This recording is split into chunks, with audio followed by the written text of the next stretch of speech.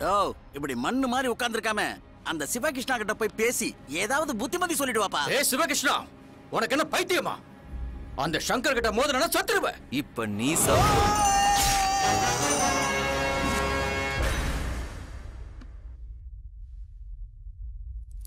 சிவா!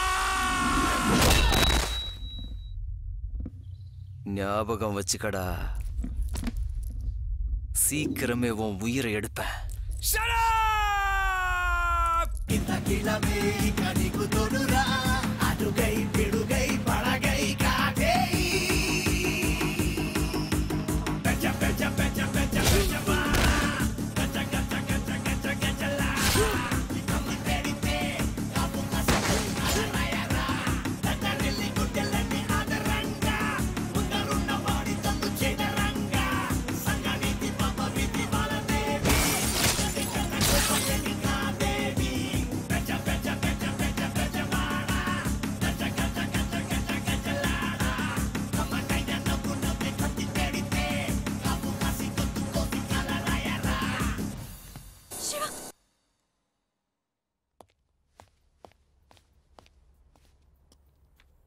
கீதா.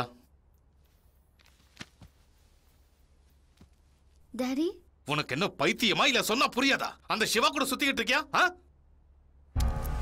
என்னைக்கோ ஒரு நாள் என்ன மாதிரி ஆபீசர் கையால என்கவுண்டர் ஆக வேண்டியவன் அவன். அவன் கூட லவ் நடி வேண்டியிருக்கு உனக்கு? பொழுது விடிஞ்ச ஒவ்வொரு நாளும் அவனை போட்டு தள்ளுறதுக்காக நான் யோசிச்சுக்கிட்டு இருக்கேன். அவன் கூட சுத்தலை நடி வேண்டியிருக்கு. என்னடி முறைச்சு பாக்குற? நாளைக்கு காலையில உன் மூட்டை முடிச்செல்லாம் கட்டிக்கிட்டு சென்னையில இருக்கிற உன் சித்தி வீட்டுக்கு நீ போற. இல்ல உன் காலை உடைச்சிடுவேன் கீதா ஒரு போலீஸா இருந்து உங்களோட லவ்வனை ஆப்போசிட் பண்ணா அது சட்ட விரோதம் அதே ஒரு தகப்பனா இருந்து செஞ்சா அது சட்ட சம்பந்தம்.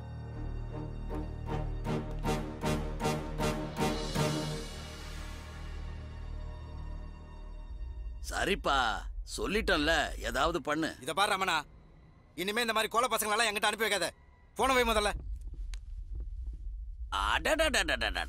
அந்த பயலுக்கு இருபத்தஞ்சு வயசு கூட இருக்காது உன்னை துப்பாக்கியால சுட்டு பப்ளிக் முன்னாடி ஒரு நாயை விட கேவலமா அவமானப்படுத்திட்டாயா இத பார்த்த அந்த மினிஸ்டர் இவன் இவனையே காப்பாத்திக்க முடியல இவன் எங்க கட்சியை காப்பாத்த போறான்னு ஹைகமாண்டுக்கு போய் பெருசா ஊத்தப்பம் போட்டான் ஏய் போது நீ உள்ள போ அவனை நான் சின்ன பையன்னு சாதாரணமா எடை போட்டுட்டேன் இந்த மாதிரி ஒரு ரவுடி இனிமே உருவாக முடியாதுங்கிற அளவுக்கு ஊரே நடுங்கிற மாதிரி தினசரி ஒருத்தனை போட்டு தள்ளுறான். பொடி இருந்தாலும் தைரியத்துல உண்மையிலேயே அவன் ஹீரோ தாயா இங்க பாரு சங்கர் உடனே இதுக்கு நீ ஆக்ஷன் எடுக்கலனா உன்னை அவன் தூக்குனாலும் தூக்கிடுவான். ஜாக்கிரதை.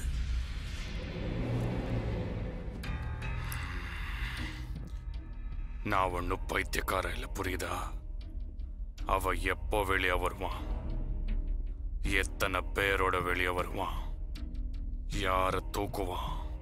எந்த சென்டர்ல ஸ்கெட்ச் போடுவான்? இந்த மாதிரி ஒரு சின்ன இன்ஃபர்மேஷன் கூட எனக்கு கிடைக்க மாட்டேங்குது. அவ சாதாரணமான ஆள் இல்லை சார் அவ பின்னாடி என் ஆளுங்க நிறைய பேரை வச்சிருக்கேன். ஆனா அவங்களால ஒன்றும் பிடுங்க முடியல சார் எனக்கு அவன் மூமெண்ட் பத்தி ஒரு சின்ன இன்ஃபர்மேஷன் கிடைச்சா கூட போதும். அவனை நிக்க வச்சு வகந்து ரெண்டு துண்டா வெட்டி அள்ளிக்கிட்டு போய் கடல்ல போட்டுருவேன்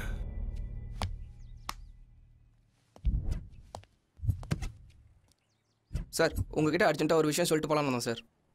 என்ன விஷயம்? சார் உங்கள் மேலே நம்ம ராயபுரம் ஸ்டேஷனில் கேஸ் புக் ஆயிருக்கு சார். ஆ? கேஸா? ஏன் மேலையா? யாரு கொடுத்தாங்க? எதுக்காக கொடுத்துருக்காங்க? உங்கள் பொண்ணு கொடுத்துருக்காங்க சார். என் பொண்ணு என் மேலேயே கேஸ் கொடுத்துருக்காளா?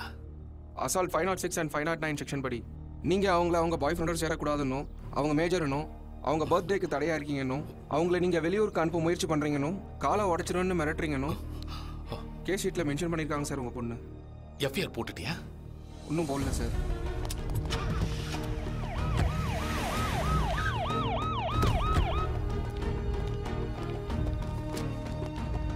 வணக்கம் சார். வணக்கம் சார். கீதா.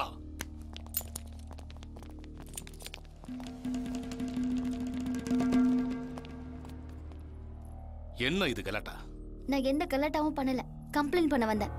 அந்த ரவுடி கூட சுத்தாதன்னு சொன்னா என் மேலே கேஸ் கொடுப்பியா நீ? பைத்தியமா பிடிச்சிருக்கு. எனக்கு பிடிச்சவரை நான் லவ் பண்றது. உங்களுக்கு பைத்தியக்காரத்தனமா தெரிஞ்சா நான் பைத்தியம் தான் ஐயோ அந்த சிவா ஒரு ரவுடின்னு சொன்னா உன் மண்டையில ஏறலையா?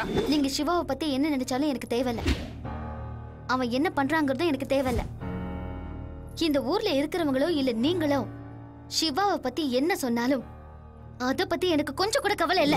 நான் உன் மேல ஆக்ஷன் எடுக்கிறதுக்கு முன்னால நீயே கேஸ வாபஸ் வாங்கிட்டு என் கூட வீட்டுக்கு வா. டாடி என்னென்ன கிரிமினல் நினைச்சீங்களா?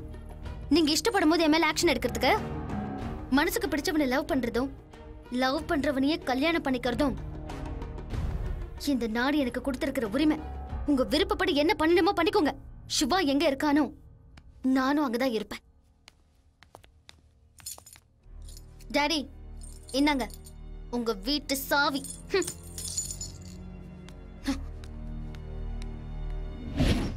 அந்த பாபு மேல எப்பவுமே ஒரு கண்ணு வச்சுக்கோ. அக்கா ஒரு கல்யாணமாகாத பொண்ணு உங்களோட இந்த வீட்ல சேர்ந்து இருக்கிறதுனால உங்களுக்கு ஏதாவது ப்ராப்ளமா அப்படிலாம் ஒண்ணும் இல்ல கீதா. நீ இங்க இருக்கிறதுல எங்களுக்கு சந்தோஷம்தான். சின்ன மாமா ஆ? உங்களுக்கு ஏதாவது ப்ராப்ளமா? ஆ, எனக்கு என்ன ப்ராப்ளம்? எனக்கு சம்மதம்.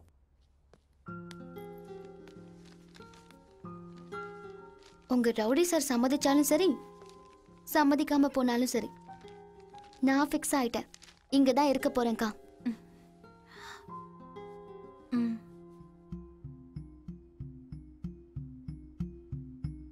என்ன அப்படி பாக்குற? புதுசா வந்திருக்கிற சினிமாக்கு டிக்கெட் எடுக்க சொல்லி உன்னை தொந்தரவு பண்ணுவேன்னு பயப்படுறியா? உன் மேல சத்தியம். உன்கிட்ட நிச்சயமா கேட்க மாட்டேன்.